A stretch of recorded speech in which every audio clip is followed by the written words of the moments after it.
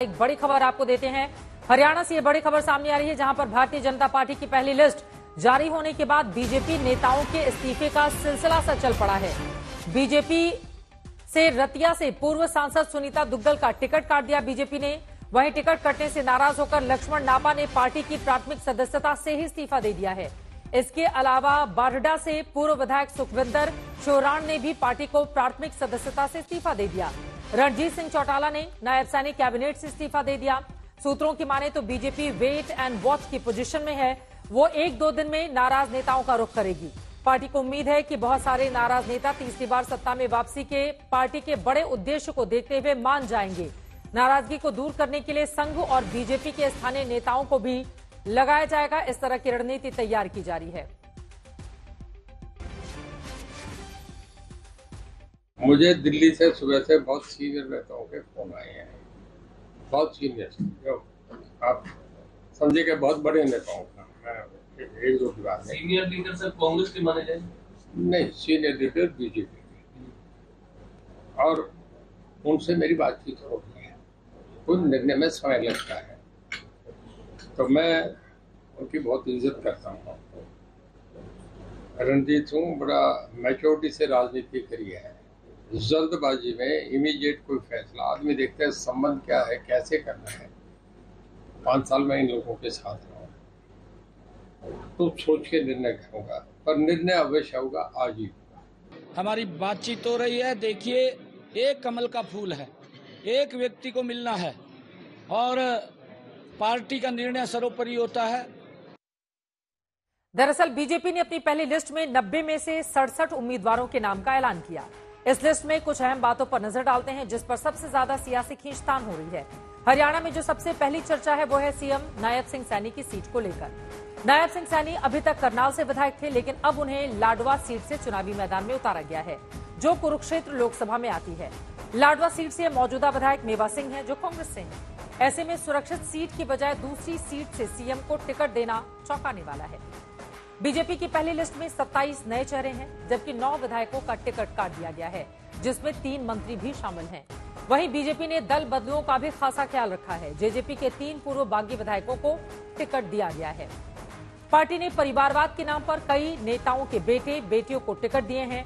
बंसीलाल की बहू किरण चौधरी हाल ही में बीजेपी में शामिल हुई थी और पार्टी ने उन्हें राज्यसभा भेज दिया। अब बीजेपी ने किरण चौधरी की बेटी श्रुति चौधरी को तोशाम सीट से विधानसभा चुनाव में उतारा है। भजन लाल के बेटे कुलदीप बिश्नोई भी बीजेपी में हैं और पार्टी ने उनके बेटे भव्य बिश्नोई को आदमपुर सीट से चुनावी मैदान में उतारा है। दक्षिण हरियाणा में पकड़ रखने वाले सांसद राव इंद्रजीत सिंह अपनी बेटी आरती को टिकट दिलाने में कामयाब हो गए। पूर्व मंत्री सतपाल सांगवान के बेटे सुनील सांगवान को चरखी दादरी से मैदान में उतारा गया है। सतपाल के बेटे सुनील सांगवान ने तीन दिन पहले ही जेल सुप्रिंटेंडेंट की नौकरी छोड़कर बीजेपी ज्वाइन की थी। सबसे बड़ी बात सुनील सांगवान उसी जेल में सुप्रिंटेंडेंट थे जिनके वक्त में राम रहीम को छह बार पेरोल मिली, जिसे लेकर अक्सर सियासत होती रहती है।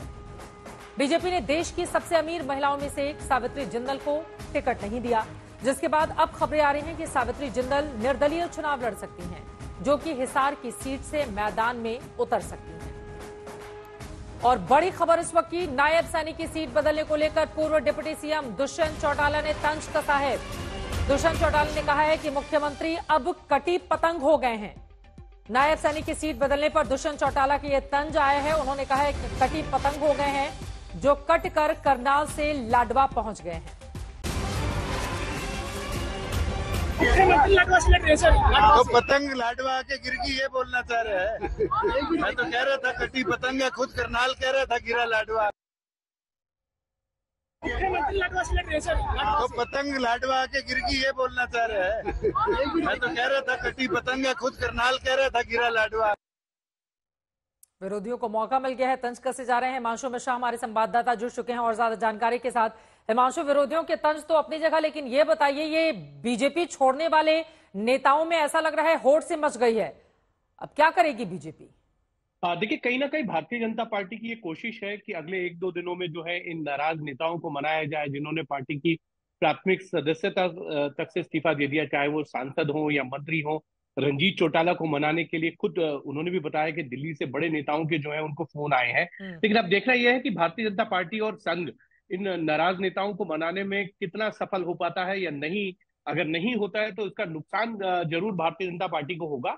क्योंकि अगर मैंने 2019 के लोकसभा चुनाव में 10 सीटें जीतने वाली भारतीय जनता पार्टी विधानसभा के चुनाव में 19 में 40 सीटें जीती थी और कांग्रेस जिसने एक सीट नहीं जीती थी वो इकतीस जीती। इस बार 24 के चुनाव में पाँच पाँच सीट दोनों ही पार्टियों का आई और वोट शेयर में दो प्रतिशत का अंतर है हम्म। और अगर आप देखेंगे तो ये माना जाता है कि कांग्रेस जो है उसके पास जाट और दलित वोट बैंक है और भारतीय जनता पार्टी नॉन जाट की पॉलिटिक्स करती है लेकिन भारतीय जनता पार्टी ने इस बार तेरह जाट उम्मीदवारों को उतारा भी है जिसमें कई एससी है तेरह चौदह ओबीसी है बढ़िया कम्युनिटी से पंजाबी कम्युनिटी से ये तमाम लोगों को उतारा तो है लेकिन भारतीय जनता पार्टी की दिक्कत ये जो नाराज़ नेता है ये भी है और पार्टी के अंदर एक गुटबाजी भी है जो ये जिसको ये लगता है कि पार्टी के अंदर कहीं ना कहीं जो है भेदभाव है और बाहर से आए लोगों को जो है वो टिकट ज़्यादा दिए जा रहे हैं। आ, अगर आप देखेंगे देवेंद्र सिंह बबली पिछले हफ़्ते शामिल होते हैं उनको टोहाना से जो है उम्मीदवार बनाया जाता है। राजकुमार रामकुमार गौतम अठहत्तर साल के हैं ठीक है। पार्टी की अब इस भगदड़ को बीजेपी रोक पाने में क्या कामयाब होगी इस पर हमारी नज़र रहेगी। फ़िलहाल के लिए बहुत धन्यवाद हिमांशु इस पूरी जानकारी के लिए। तो बीजेपी की लिस्ट सामने आई जिसके बाद जिनको टिकट नहीं मिला है उनमें भगदड़ सी मच गई है। उधर कांग्रेस की लिस्ट को लेकर लगातार मंथन जारी है। कांग्रेस सब कमेटी की मैराथन बैठक चल रही है जहाँ प्रत्याशियों को लेकर मंथन हो रहा है। इस बैठक में कांग्रेस के अलग अलग गुट अपने प्रत्याशियों को आगे करने की कोशिश कर रहे हैं। हरियाणा को लेकर कांग्रेस की मैराथन बैठक लगातार जारी है। इसके साथ ही आम आदमी पार्टी के साथ सीट शेयरिंग को लेकर भी खींचतान चल रही है। वहीं विनेश फोगाट का टिकट मिलना करीब तय माना जा रहा है, जबकि बजरंग पुनिया के टिकट पर सस्पेंस बना हुआ है। कांग्रेस के साथ सबसे बड़ी चुनौती यह है कि राहुल गांधी को बीच में अमेरिका का दौरा करना है, जिससे पहले पार्टी को नाम तय करना होगा तमाम उम्मीदवारों के। मौसमी सिंह, हमारे संवाददाता जुड़ चुके हैं। ज़्यादा जानकारी के साथ मौसमी, क्या है अंदर की खबर? देखिए चित्रा, लगातार पहले एक स्क्रीनिंग कमेटी हुई और स्क्रीनिंग कमेटी की कई बैठकें हुई, उसके बाद सीईसी e की दो बैठकें हुई। उसके बाद जब मामला फिर भी नहीं सुलझा, एक सब कमेटी बनाई गई है जो लगातार सुबह से बैठक कर रही है और इस सब ये सब कमेटी हरियाणा के पाँच बड़े नेताओं से मुलाकात कर रही है। उनसे भी उनको भी समझाने की कोशिश कर रही है और जो एक नाम है उसको छाटने की कटाई और छटाई में इतना लंबा वक्त लग गया है। बताया जा रहा है कि कई मौजूदा विधायक हैं जिनके ऊपर ईडी के केसेस हैं। उनका मामला पेंडिंग में चला गया है। तो कई ऐसी सीटें हैं जिनमें तीन तीन नाम है। कई बीजेपी टर्न कोर्ट्स है। उनको रोका गया है राहुल गांधी ने उन पर स्क्रूटनी बैठा दी है। तो ये डेडलाइन भी बहुत छोटी है क्योंकि नामांकन शुरू हो गया है।